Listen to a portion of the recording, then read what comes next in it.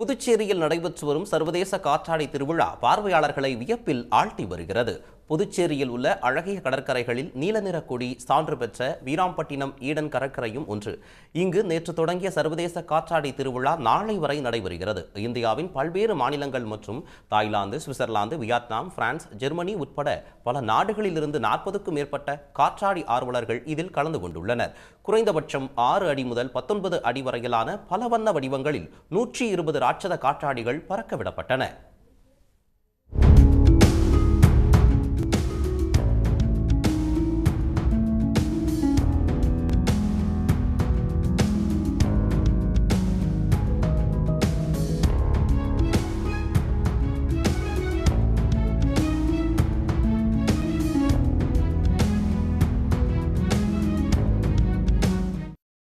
புதுச்சேரியில் முதன்முறையாக சர்வதேச காற்றாடி திருவிழா நடைபெறும் நிலையில் பனிரெண்டு வயதுக்கு மேற்பட்ட காற்றாடி விரும்பிகள் நூறு ரூபாய் கட்டணம் செலுத்தி போட்டியில் பங்கேற்கலாம் என தெரிவிக்கப்பட்டுள்ளது. உடனுக்குடன் செய்திகளை தெரிந்து கொள்ள சன் நியூஸ் பெல் ஐகானை கிளிக் பண்ணுங்க.